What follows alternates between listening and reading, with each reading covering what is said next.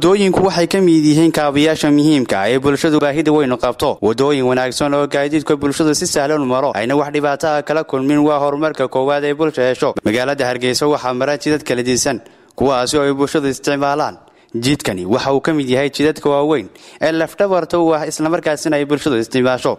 Waa mid burbur iyo jeexjeexyo badan ay ka muuqdaan islamarkaasina lagu tilmaami karin wado marka la eego burburka lixaadka badan ee ka muuqda. Gaadiidka ugu badan ee wadadani maraa waa basaska waaweyn ay bulshadu isticmaasho. Waxay cabasho ka muujiyeen dhibaatada joogtada ay kala kulmaan. Gudoomiyaha basaska waaweyn ee u kala goosha xaafadaha biibsiga iyo sheekh cumar ee magaalada hargeysa oo star t v la hadlay waxa uu sheegay joogta ay kala kulmaan isagoo sheegay in muddo ku siman shan iyo toban sano caynkaasi ahayd. Baaqyo kala gedisan ay u dirsadeen dowladda hoosena ilaa haatan looga soo jawaabin tada waddada aanu marnaa ay nagu hayso ee go'an ee baabuurtii iyo waxaan ku idhi wixii oo dhanba ay ku jajabeen. Dawladduna ay arkayso. Intaasoo sannadoodba dawladdu way arkaysay waxa weeye inta meeshu ay sabaradi naga qabto ama kaabaan ay naga qabaan waxaan ku idhi ilaahunbay u tirsantahay.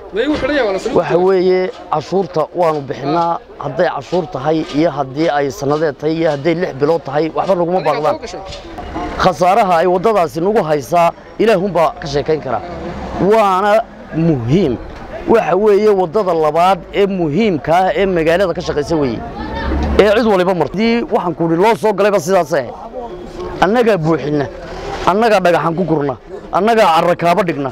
Mar allaala markaa uu roobku doo ayuunbay wixiiba isla degayaan. Ninka gabay ee weygiisii gabay. Waa maayir. Waa maayirka ninka weygiisa gabay. Marka waxaan leeyahay maayir waxba hadalka sii badin maynee bal waddadan malaha maad martidba gaarigaaguna dee waa gaari laangursa laho noocan aan godka iyo waxaanba lagu dareemin weeyaan laangursalka maayirku yaa markaa maayir. Waxaan leeyahay gaariga laangursalkee wada shakalkaa ka dego gawaaridan la mida waddadan ku maroo fuul ma garat aniga shaksiyan shaksiyan saddex sanadood bay ka qabtaa aniga. Saddex sanadood bay ka qabtaa oo min boqol iyo konton layga siiyey.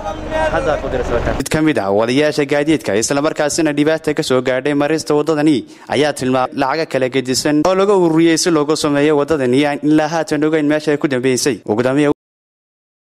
Waa konton doolar albaabkii waan u bedelay oo boqol jeer baqaa ku jabay ilaa raggu dad u dhaawacay meesha waa haadaanoo halkan taayirkii marna taayir baad gaadhaysaa mar taayir mar kaabaan markaa meesha dhibaatooyin baan ku qabnaa dowladda hoose lacagtayda u tagtaa oo halkaa lacag baan laga qadaa in lagu xidho haddaan lacagtaana bixin weydo oo cashuur baan u qaadaa xafiiska iskaashatada waan u sheegnay cabashada gudbinay lacag calaa gaari tobanku baa laga qaaday marka cabashadaasaan ku qabnaa maayarkuna meesha iska dhagaadkayndhade de meesha baneedha ma naga hagaaji gudoomiya waxay baaq u direen dowladda hoose in si degdega wax uga qabato. Si kastaba hoose oo aan si degdega leeyahay ha nooga sameeyaan.